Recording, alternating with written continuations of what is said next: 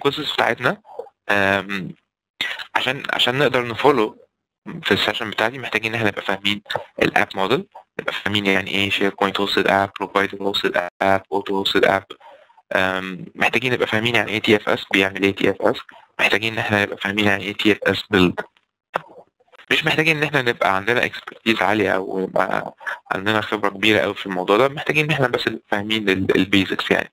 فاهمين إيه ال hosting options بتاع SharePoint apps نبقى فاهمين ال TFS غير إن هو source control يقدر يساعدنا في إيه تاني من يعني من ناحية ال build automation ال session بتاعتنا النهارده هتبقى جزء من session عملتها في SharePoint Conference في لاس فيجاس من 3 ل 6 مارس اللي فات وبالتحديد في يوم الخميس 6 مارس اتكلمت على ال application lifecycle management في and SharePoint أنا حاطط هنا ال URL بتاع ال session لو انت عايز تتفرج عليها كاملة آه، بال English طبعا آه، هتبقى موجودة كاملة على ال على ال Channel 9 however النهارده أنا أخدت جزء صغير من ال session وعملت focus أكبر عليه لأن هو ال feedback بناء على ال feedback اللي جالي ده كان أهم حتة. آه، في ال session فأنا قررت إن أنا focus عليها النهارده اللي هي build deploy test workflows. ده دي اللي أنا هشرحها في ال objectives دلوقتي. فال objectives بتاعتنا النهارده إن إحنا ن create automated BDT workflow. BDT يعني build deploy test workflow اللي هو على اليمين ده. BDT build deploy test. build يعني إن أنا عايز build و package ال app components اللي هو ال continuous integration فوقت ال development وأنا بعمل development وعملت ال developers كلهم شغالين محتاج إن أنا في وقت من الأوقات إن أنا integrate كل ال كل ال development efforts دي. فعايز build و package ال different app components automatically فدي ال B build. Deploy بعد لما ا compile و build كل ال app components وبقى عندي dot app file محتاج إن أنا أعمل له deployment automated deployment على ال testing environment. ده ال D أو deploy. T هو test محتاج إن أنا execute automated test.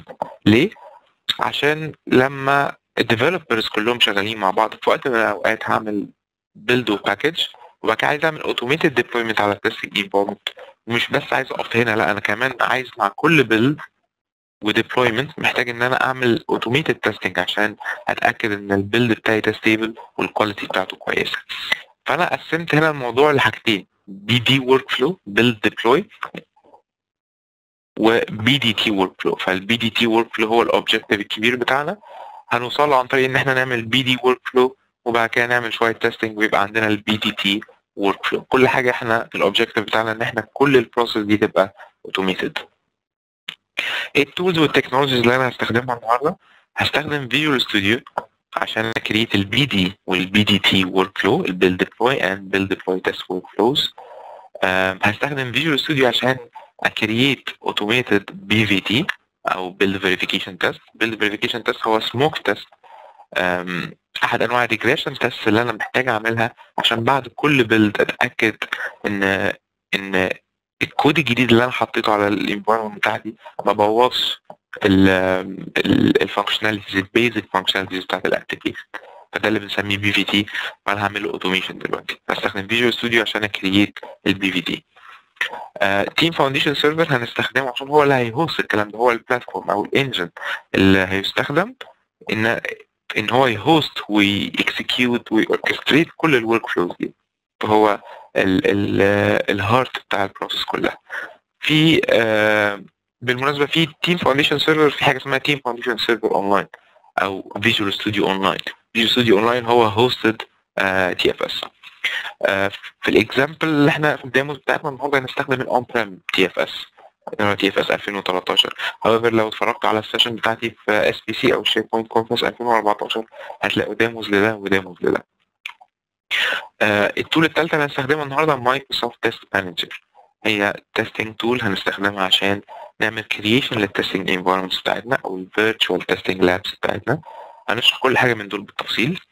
بس أنا حبيت اديكم introduction كده. كمان هستخدم Microsoft Test Manager عشان أعمل manual and automated testing. هعمل execute لل test cases من خلال Microsoft Test Manager برضه في tools من على في tool واحدة من على CodePlex هستخدمها third party tool هتديني template لل BD workflow إحنا قلنا إن إحنا نعمل BD workflow وبعد كده نعمل ال BDT workflow ففي template إحنا عارفين إن أي build build definition في TFS بيبقى based على template. فهو بيدينا ال template دي اللي من خلالها أقدر بسرعة جدا إن أنا create BD workflow BD اللي هو بعمل continuous integration بعمل packaging بعد كده بروح أعمل deployment.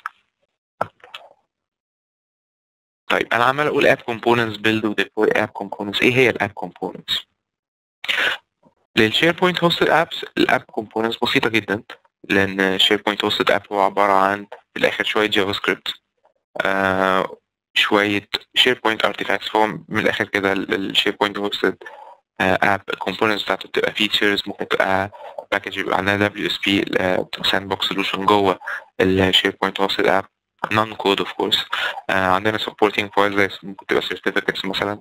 عندنا طبعا pages عندنا JavaScript ممكن libraries زي jQuery AngularJS مثلا. كل الكلام ده كله uh, بيبقى في ال app في ال SharePoint فدي components بتاعتي لو provider hosted app أو auto hosted app بيبقى عندنا زائد ال SharePoint app بيبقى عندنا ال SharePoint app project بيبقى عندنا project تاني اللي هو بيبقى فيه اللي هو ال web project ممكن يبقى MVC project أو ممكن يبقى ASP.NET web forms بس بيبقى عندنا project تاني فال components هنا more complex يعني. طب ال workflow بتاعنا هو ده ال workflow بالنسبة لل SharePoint hosted app وال auto hosted app تقريبا بيبقى زي بعض. دي ال app components بتاعتنا. ادي ال BDT workflow ودي ال testing environment بتاعتي ال testing environment بتاعتي ممكن تبقى لو أنا شغال on-prem لو أنا شغال SharePoint hosted app ممكن يبقى on-prem أو Office 365 لكن لو أنا شغال على auto hosted app فهو Office 365 بس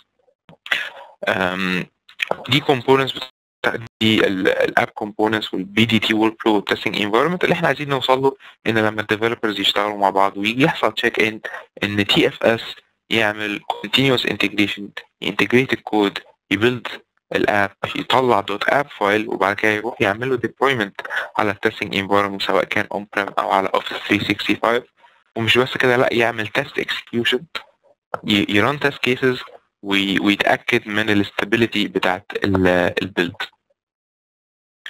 لو provider hosted app الموضوع كبير شوية. فادي ال app components بتاعتي.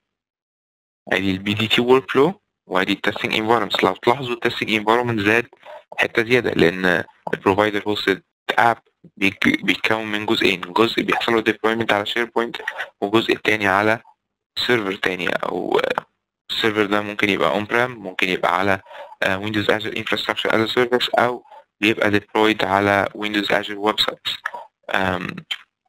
فاللي أنا برضه عايز أوصل له إن لما يحصل check in ال developers يشتغلوا مع بعض وبعد كده يجي الوقت إن إحنا نعمل فيه check in build بيحصل له trigger بال BDT workflow بيحصل له trigger كل ال components دي بيحصل لها packaging بعد كده deployment لل dot app file على SharePoint و deployment لل web project على ال testing environment سواء كانت on-prem أو على Windows Azure وبعد كده نعمل test execution ونرجع results اللي بتديني شوية insights كده هل ال build دي كانت stable ولا لأ test cases حصلها running ولا failure ولا failure كل الكلام ده. فده ده ال ultimate goal بتاعنا. عايزين نوصل لل workflow ده. لو وصلنا لل workflow ده يبقى إحنا نجحنا إن إحنا آه نحقق ال objectives بتاعت ال session بتاعتنا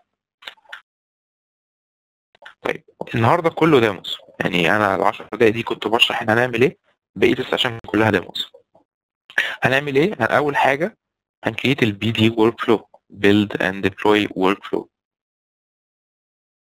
وهنستخدم في ال BD workflow فاكرين قلنا إن في project على CodePlex هنستخدمه. تاني حاجة هن create ال automated BVT أو build verification test عشان نتأكد من ال quality وال stability بتاعت ال build هنجمع ال test ال automated test مع ال BD workflow يبقى عندنا ال BDT ورك فلو دي الديموز بتاعتنا.